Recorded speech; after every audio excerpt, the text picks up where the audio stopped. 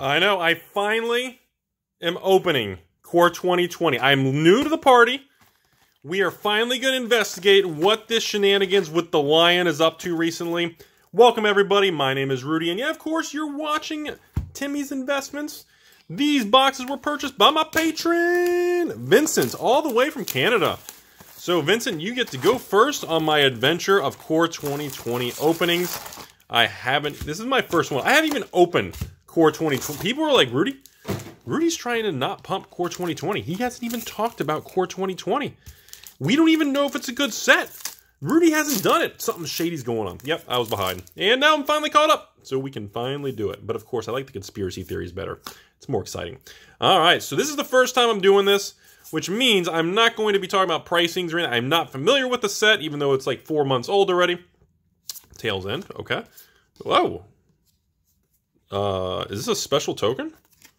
Why is the token like full art? Is that normal? Okay. That's pretty neat. That was a pretty looking, wow, that was a really cool chick token, man. That warrior female, that was pretty cool. That looks pretty impressive. All right, and we've got Mu Yanling Sky Rudy Dancer. Uh, Mythic Plane. Now, I don't, I'm assuming there's a ton of Planeswalkers in this. Oh, they reprinted these? Really? Seriously? All right. I like the pack art, though. That looks really nice. Definitely feeling that pack art. Pretty cool. So, uh, commons, don't care. Herald, Looming Corpse, and Icon of Ancestry. Whoa, that is neat. That reminds me of that zombie one from Innistrad with the glass-stained um, mirror. Foil common, a, a, bird. Nothing too crazy. So, interesting. So, so far, at least for, I just been following the numbers on this, the, the expected value in the numbers seems stronger than 19. But, I mean, I haven't really noticed any drastic wake elemental. Holy smokes. Five green to do. I like the lands. Good vibrant colors on the set. Uh, I haven't heard anything negative about the card quality or card stock either. Not sure if there's any... God's Willing's uncommon in this? Really? From Conspiracy? Temple of Triumph. Alright, so I didn't know about the Scry lands were brought back. Thought that was kind of a, a strange direction, which makes a lot of people think we're returning to the Pharaohs and God sets coming up here in a little while. Shock, huh? Boy, that card again. And Pulse, really? Oath of the Gatewatch, interesting. And Leyline, Leyline. Now the these things are always beautiful enchantments.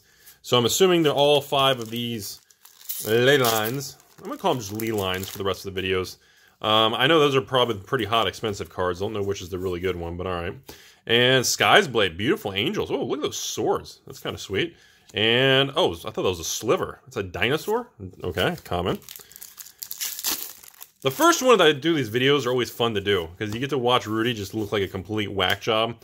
And Big Crazy Dragon. Wow, a lot of big casting cost creatures, huh? I haven't seen that in a while.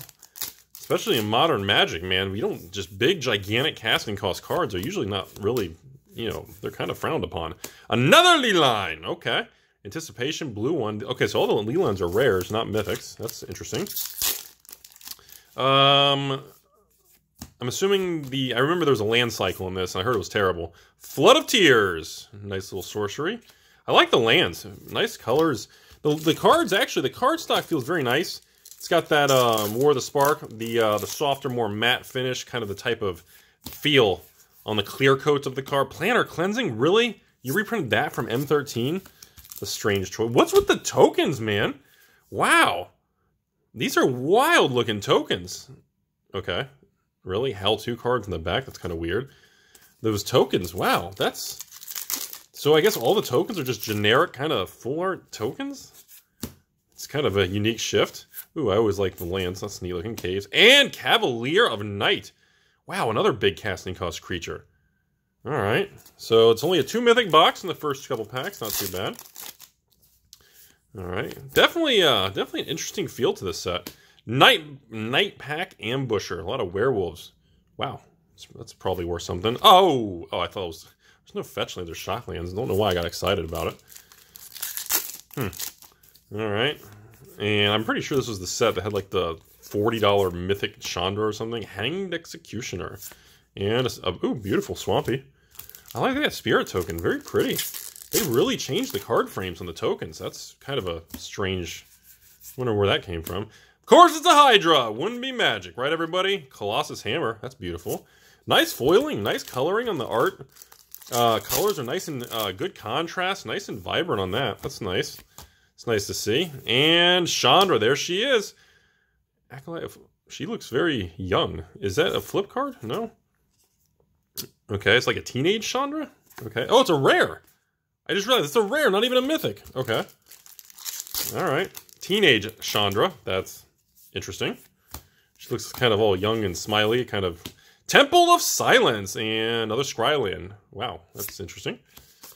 So feels like a pretty good box. I'm not really. I'm going to assume the the Chandra the Chandra rare is probably not the home run. There's probably more than one. Glinthorn and the Foily Island is our foil land. Hmm. Interesting. Okay.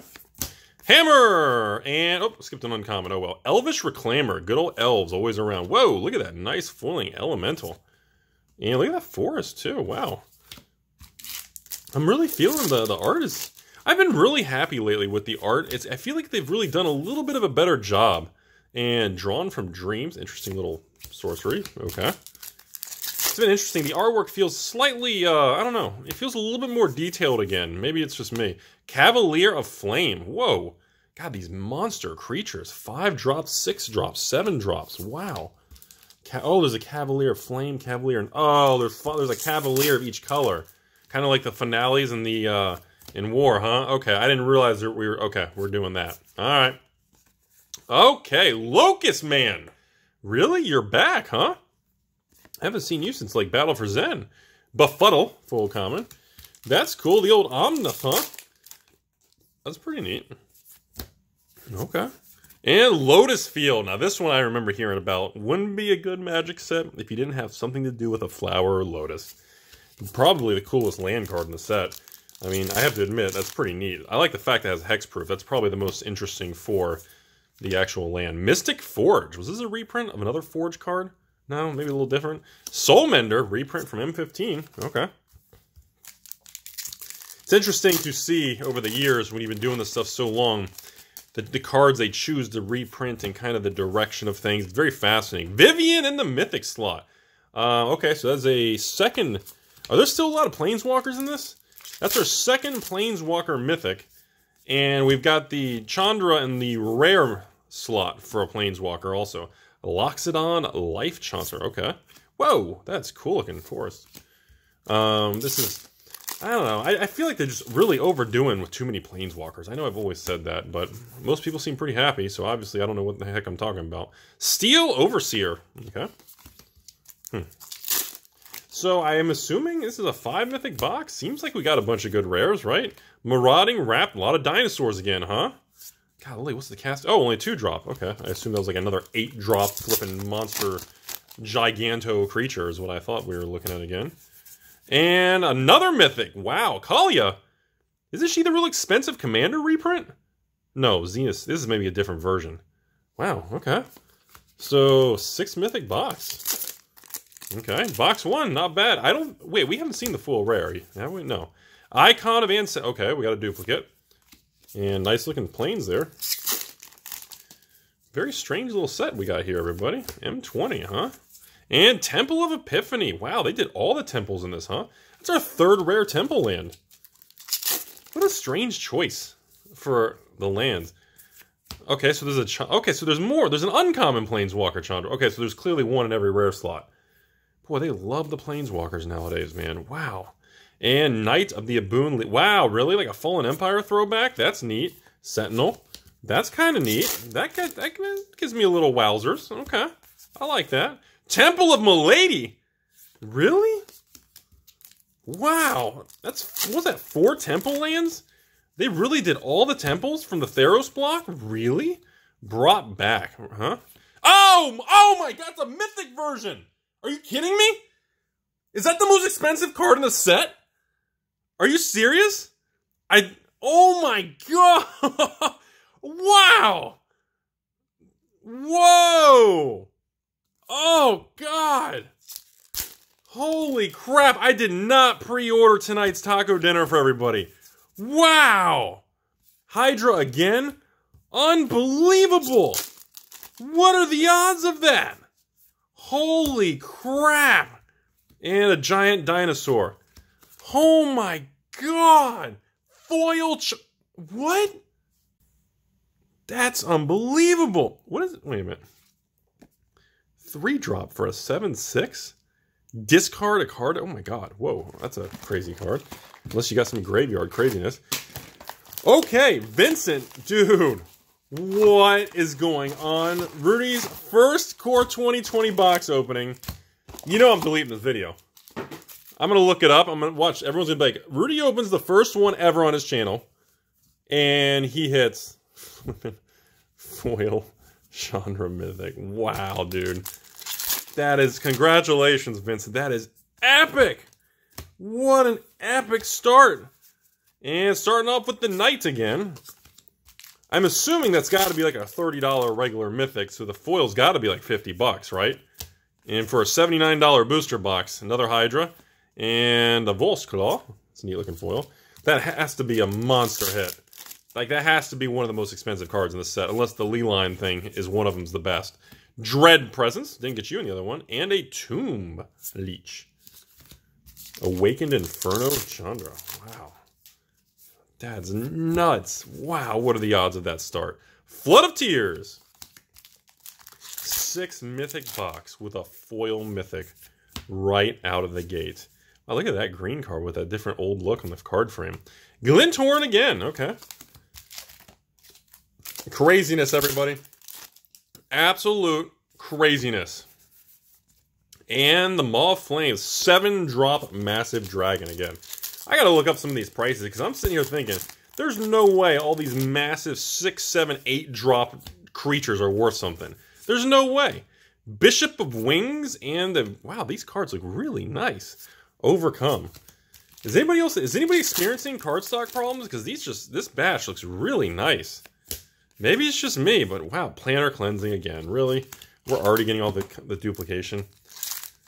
Like, what are the odds of that? What are the odds of that, everybody? So, anyways, move some of these comments. Hang on. All right. You want to knock, make a mess? And, oh, what is this?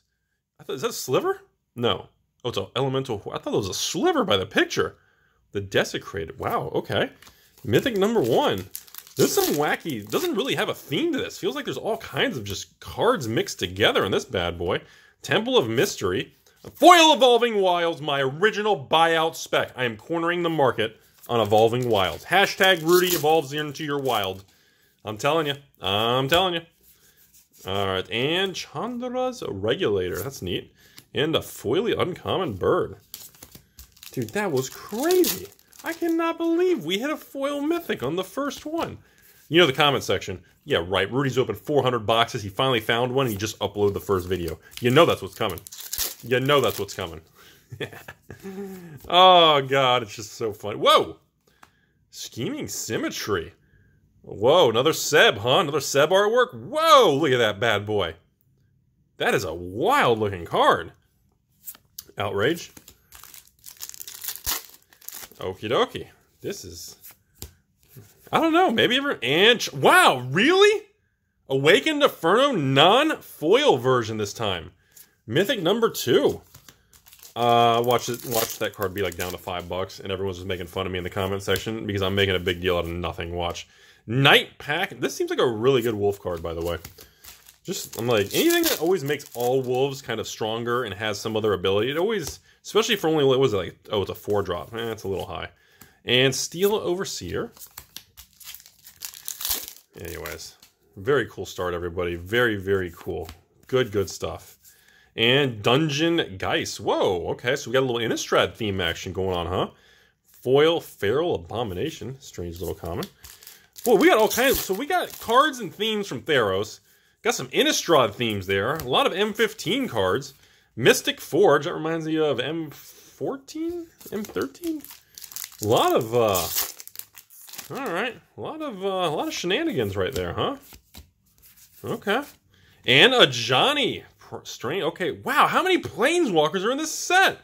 Holy smokes. Are you kidding me? Um, all right. That's kind of strange, but we're going to just go with it. And, and wow, really? Wind's Fury Bird Wizard? What in the world's a Bird Wizard? Okay.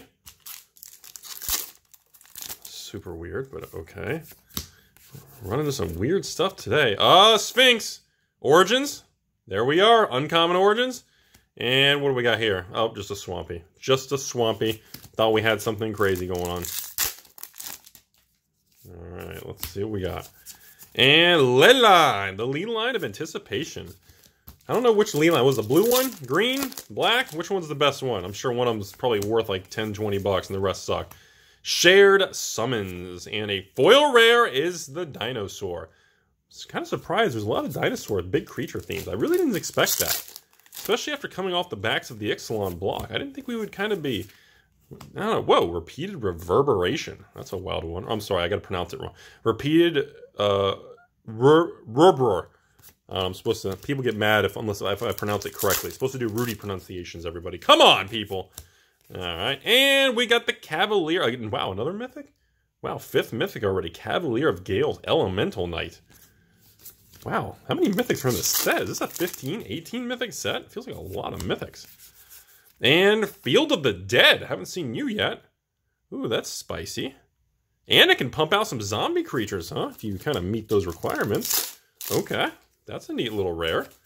That's cool. Nice little change up on the land cycle. Legion's End. Legion's End. Wow, this is this feels like a really big set. Holy smokes, still seeing a lot of cards I do not even recognize. Whoa, look at that thought. Look at that. Look at that thought distortion. Isn't that a creepy card? Wakeroot Elemental, and a Captain Knight Common. Again, a Captain Knight Common. It's alright. It's alright. Let it go, everybody. Just a common. And what do we got? The Broker of Blood. Look at that bad boy, huh? Alright, alright. Here we go. Let's see we got. Boop, boop, boop. And Leyline of Sanctity. Again, the white one. So have we gotten all of them? Which one have we not seen? The black and the blue? Or the black and the green? Which leyline have we not seen? and Temple of Silence. The first box opening we just did, uh, um, what, five minutes ago? What we get, like five, what we get, four or five Scrylands? Another, wow, see? It's crazy. And a really pretty elemental common. Right, everybody, only three packs left. Overall, Vincent, congratulations. Uh, I'm going to assume these are both very good. Another Lotus Field for the double tap. I'm going to assume you did very well. Uh, both of these boxes feel incredibly strong uh, at least from what I'm gathering, just by the quantity of mythics and the amount of scry lands. You got double tap on the Lotus Field. You got a foil Chandra mythic. Holy smokes. There's the Black Leyline. I think it's the first time we've gotten that one. Okay. So I'm sure one of those Leylines is probably the most expensive, but wow. Feels like a really good opening. I'm sure people will do the numbers. Starfield Mystic and an ending with the sleep paralysis. So anyways, this is my very first Core 2020 box opening on the channel. I have 29 more of them scheduled over the next couple months. As always, I hope you guys have a fantastic day. Take care of yourselves and make sure you enjoy your life. It's too short to just be negative and upset. There's a lot of beauty out there. If you don't believe me, come on down to the basement. I got some nice red popsicles for you. Giggity!